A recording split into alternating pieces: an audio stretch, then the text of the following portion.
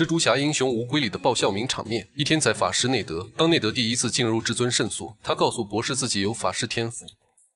How did you know you were made of magic? Because my, my nana says that we have it in our family, and sometimes I get these tinglings in my hands. Talk to your physician. 随后在内德家，因为担心荷兰弟的安危，他利用博士的玄解，随意一画就打开了传送门，Fine, Peter Parker. 并准确地找到了初代蜘蛛侠和二代蜘蛛侠。后面他更是将博士从大峡谷救了出来。Did you just open a portal? Yes, yes, sir, I did. 博士都愣了，他当初为了画出传送门，差点冻死在雪山上，甚至古一还说过，Strange is meant to be the best of us. 说的多了，连博士自己都信了。而且魔法斗篷也很中意内德，危急时刻主动来救他。看来内德很有可能会成为下一任的至尊法师。二本是同根生，加菲蜘蛛侠通过内德的传送门出现，内德两人不相信他的身份，想让他证明一下自己。于是加菲直接在天花板爬行，顺便还帮奶奶清理了角落的蛛网。Thank you. 本是同根生，相煎何太急。三蜘蛛侠一点五，有些人表面上是蜘蛛侠的头号黑粉，天天就想报道他的负面新闻，博取对方的关注，实则是最爱他的榜一大哥。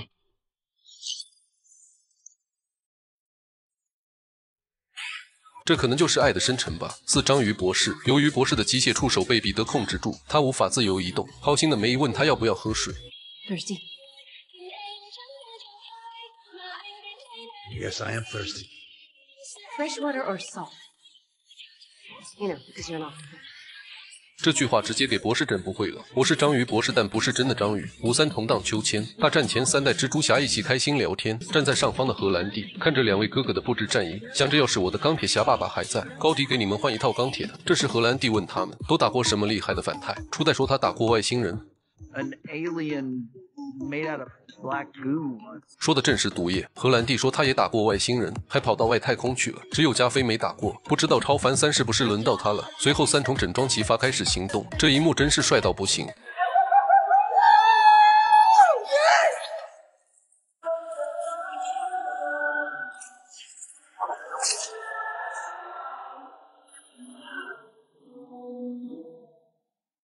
你还知道哪些英雄无归的搞笑名场面？